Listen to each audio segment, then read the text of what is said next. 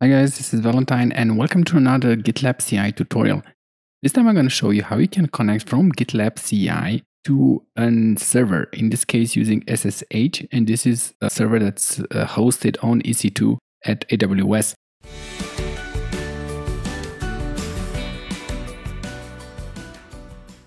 First thing that you want to make sure is that you can connect to the server by yourself. So I already have here generated the SSH key. So if I open a terminal, I can show you that I can connect to the server. And it's important to ensure that at least on your machine, everything is working properly before jumping to GitLab CI. So the command itself is quite easy. I'm going to specify here the private key that I'm using. This is the username and this is the address of the machine that I'm connecting to the connection works. So the next step that I will do is to jump into the htdocs folder and take a look at its content. So what we're going to try to do from GitLab CI is to put here some files and see how it works. I've already prepared here a pipeline and it's quite simple. It contains two stages, a build stage and a deploy stage. What I'm doing in the build stage is pretty simple. I'm creating a public folder. I'm putting an empty index .html file and putting some content in that file. After that, I'm going to take the entire public folder and zip it and publish everything as an artifact. So pretty, pretty simple. Now in the deploy stage, this is where things get interesting because typically you want to do two things when connecting to a server. You either want to transfer some files and second of all, you may want to execute some commands.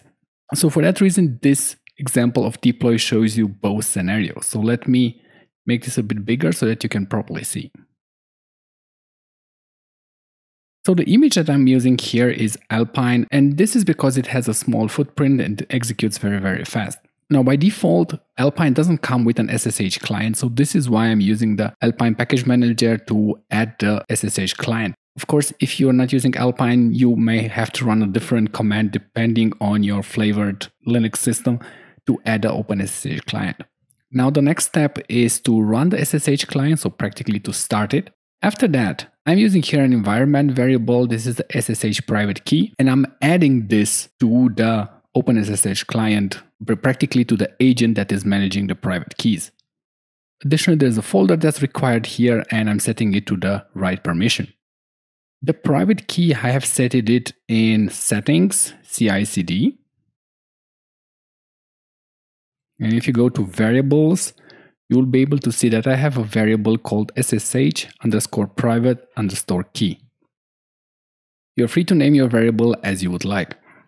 The contents of this variable is the private key. In the case of AWS EC2, it is the contents of the PEM file. So just in case you're wondering, in my case, this looks something like this. And don't worry, this will be invalid by the time you see it. Going back to the configuration itself, this was all in the before script, so this is all the setup that is needed to get this to run. Now the script itself does the following.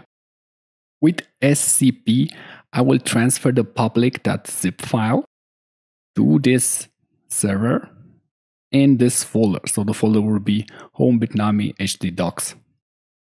Additionally, I'm setting a setting here, strict host key checking, I'll link you in the video description what that means and what that does, but this is required in order to get it to run. The same goes with SSH. So far we have transferred this file to the server, but nothing has changed.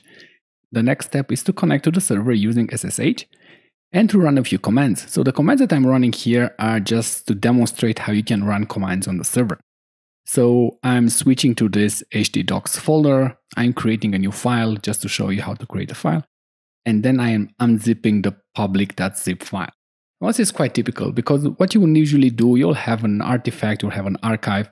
You send that archive to the server, maybe unzip it, and probably inside that archive you may have an installation script or something like that. So this just shows you how you can transfer files and how you can execute commands on the server. Let's run this and see how it works. So the pipeline needed only a few seconds to execute. The build job is not that interesting, so we'll take a look at the deploy one. And here we'll be able to see everything that we have done. So there's nothing spectacular. What's important to notice is that There are no errors. And then if we go back to our console, we can inspect to see if everything worked properly. So let's see again the contents of htdocs and then you will see here there's another public folder. There's still the public.zip folder and the foo.txt file. And then checking the server.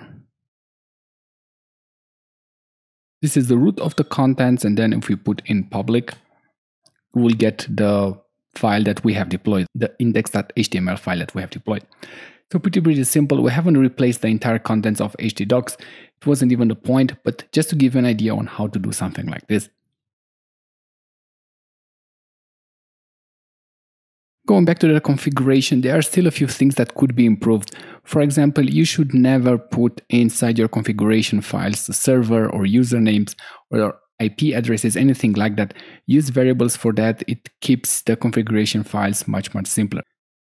Hope this tutorial was helpful and if this was the case, give this video a thumbs up. Check the video description because inside there I will post a link to the code that you see here so that you can play with it and understand how everything works. If you're interested in learning more about GitLab CI, I have an online course explaining how to create continuous integration and continuous deployment pipelines using GitLab CI. So if you're interested in learning this fantastic tool, make sure you check that out as well. Thank you very much for watching. If you have any questions, make sure you leave them in the section below. I would love to hear back from you if this was helpful and if you're interested in more tutorials about GitLab CI. Until next time, have a good one. Thank you for watching. Bye bye.